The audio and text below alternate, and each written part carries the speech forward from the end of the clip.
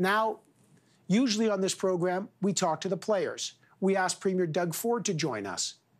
He was not available. He said the buck stops with him. He said he owns this crisis, couldn't be here. We asked the Minister of Long Term Care, Mary Fullerton, to join us. She said she was unavailable. No one from the Ford government Ontario would join us to discuss this situation. We also asked the federal Liberal government. The Minister of Emergency Services, Bill Blair, received the military report. We asked him to join us. He was unavailable. So was the Minister of Defense. So were the health ministers. Literally, both governments who promised to fix this have refused to come on this program to discuss it. Make of that what you want but we do have many other voices, beginning with Ontario Liberal leader Steven Del Duca, who did accept our invitation. Mr. Del Duca, thank you for joining us, and I appreciate you uh, being here. Uh, it was a staggering report. It wasn't a surprising report. Who's accountable? Yeah, so I mean, first of all, thanks for having me on, Evan. I'm really happy to have the chance to talk about this. And I heard in the introductory comments what you had talked about with other political leaders today expressing their shock, their outrage, their heartbreak. I mean, I think all of those words are accurate. Those are the kinds of words that people would use to describe this kind of uh, this kind of report. But at the end of the day, they're words. And to me, what we need now urgently is not more rhetoric, not more words, even if they're heartfelt. We actually need action. We need someone to step up and decide very quickly what can be done in the short term to make sure that our aging parents and grandparents are properly taken care of. And that can be done starting tomorrow. Well, what should be done? Look, uh, Premier Ford of Ontario has asked the military to extend again. They've already been extended once. Um, outside of the military staying there, and I spoke to the Minister of Defense a couple weeks ago, he said, Look, we can't stay there for that much longer. What can be done right now? So, three very concrete actions the Premier can take today. He could take them tomorrow, and I urge him to do so.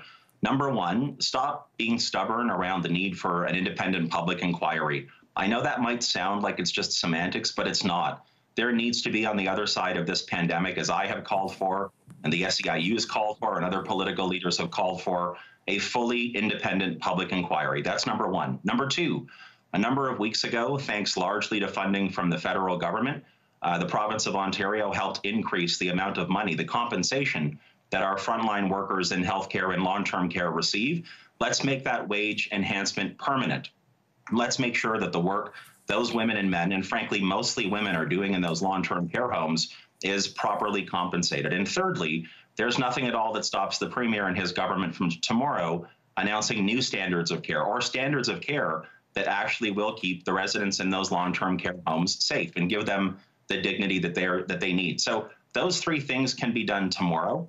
I know this is part of a much larger conversation that we need to have in this province and in this country about home care, about long-term care, about retiring with dignity.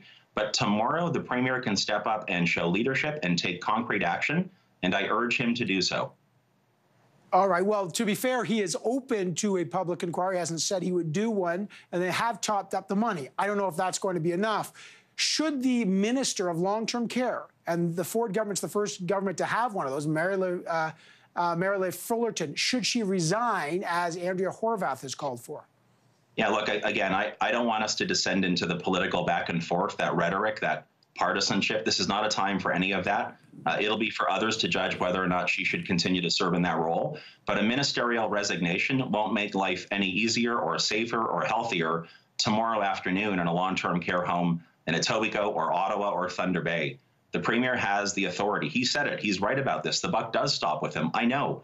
I've had the chance to serve inside that cabinet room. He has the authority to take concrete steps tomorrow that will actually start to make life better while we have longer term conversation over the next number of weeks and months.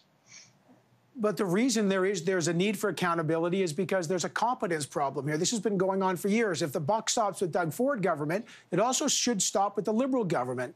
I mean, to be candid, the former Liberal government also, who were in power for more than a decade, let inspections lapse.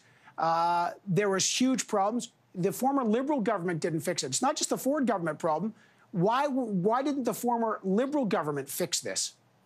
So, look, I, I, can tell you that while I had the chance to serve in cabinet, we did take some concrete action in long term care to make the situation better. A couple of really uh, important examples we uh, we authorized the rehabilitation of somewhere around 16,000 beds in long-term care, and also just prior to the 2018 election, we announced that we would be allotting 5,000 licenses to build new long term care beds, beds that haven't been built as of yet. This is not my way of suggesting that there isn't a need for accountability going back through many years. There is. That's why I'm in search of answers. To me, this is not a partisan issue.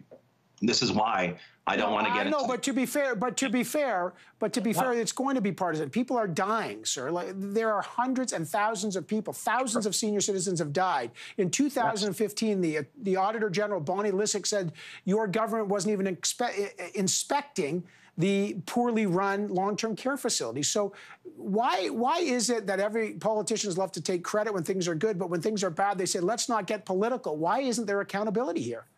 Yeah, so I think there should be accountability, and that's actually what I was driving at. So the reason I've called for a, poll, a full public inquiry, and in fact, the reason I was the first political leader in Ontario to make that call was because I'm looking for answers. To me, we can relitigate the past all we want, but that's not going to make life better tomorrow in long-term care homes in the province of Ontario. That's why I've said the premier can take, and I hope he does. I sincerely hope he does, and I'll be the first one to applaud him if he does. Take that concrete action tomorrow, and then let's work together, Liberal, NDP, Conservative, Greens, and others, uh, with those working in the system to make the system better for, for those going forward. Because what we saw today is not acceptable in Ontario, it's not acceptable in Canada, and there's got to be a better way for us to do this.